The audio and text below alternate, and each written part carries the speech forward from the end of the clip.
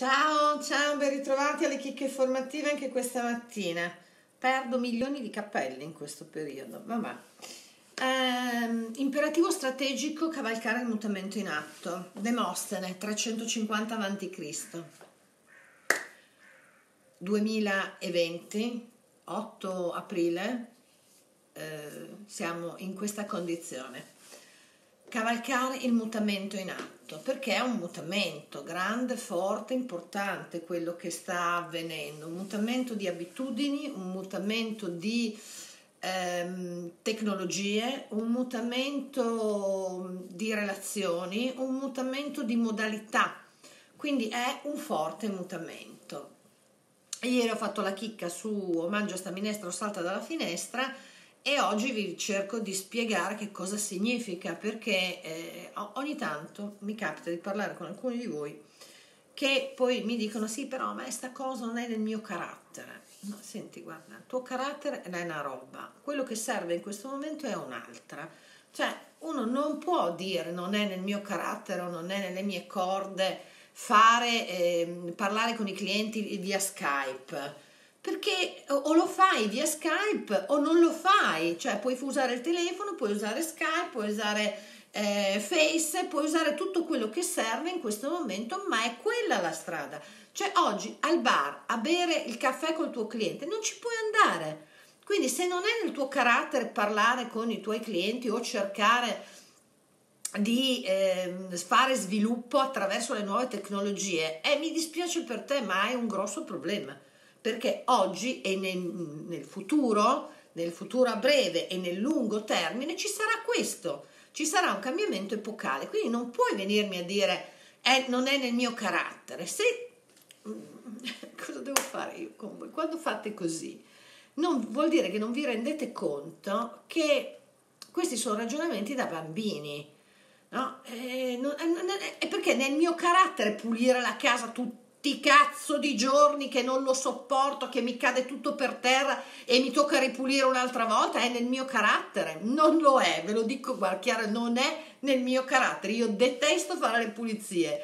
Sem- anche quando ero una ragazzina che avevo pochi soldi, che guadagnavo poco, nel mio stipendio, una parte di quello stipendio andava piuttosto, mangiavo pane e cipolle, ma le pulizie le facevo fare. Quindi immaginatevi se è nel mio carattere pulire continuamente la casa, non lo è, però lo devo fare perché adesso non ho altra, altra soluzione, lo devo fare. Quindi cercate di mettere da parte quello che è carattere o non il carattere, le mie corde o non le mie corde, perché l'imperativo strategico è cavalcare il mutamento in atto, bisogna innovarsi in questo momento, ma anche cioè, l'innovazione deve partire dalla testa. Perché se tu non fai partire dalla testa l'innovazione, non ce la fai poi a stare dietro ai tempi.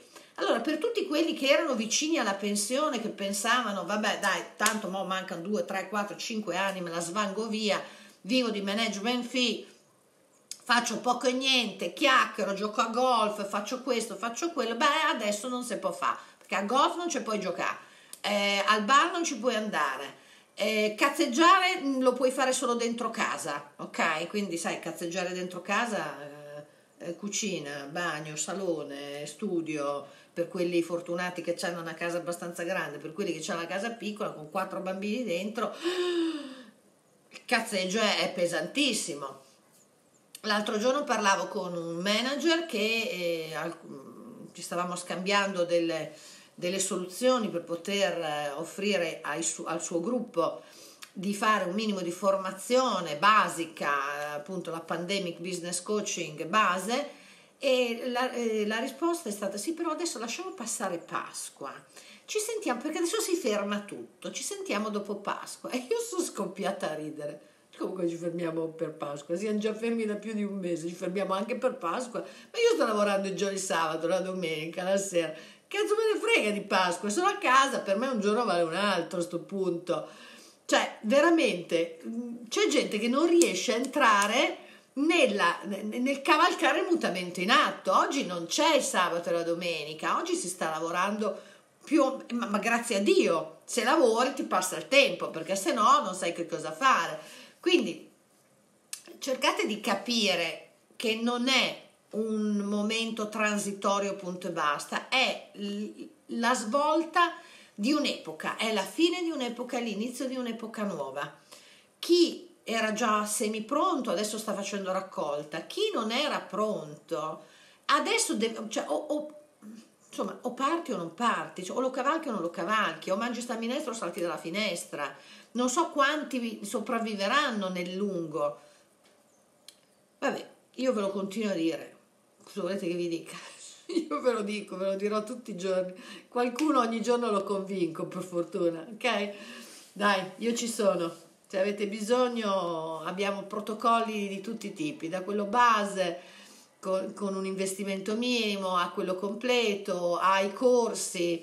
Adesso il 16 c'è quello sui salotti finanziari digital solo per chi fa coaching e poi ce ne sarà un altro verso fine mese aperto a tutti proprio per aiutarvi almeno, almeno quelli che hanno fatto il corso sui salotti finanziari con me, e sono tanti, quindi sono migliaia di persone, eh, che già quindi sanno più o meno vagamente come funziona il salotto finanziario, adesso c'è il salotto finanziario digital, quindi saranno i più avvantaggiati. Fine mese ci sarà il corso, oggi penso lancerò ehm, il, un post qui sui social dove potete già fare l'iscrizione, ok?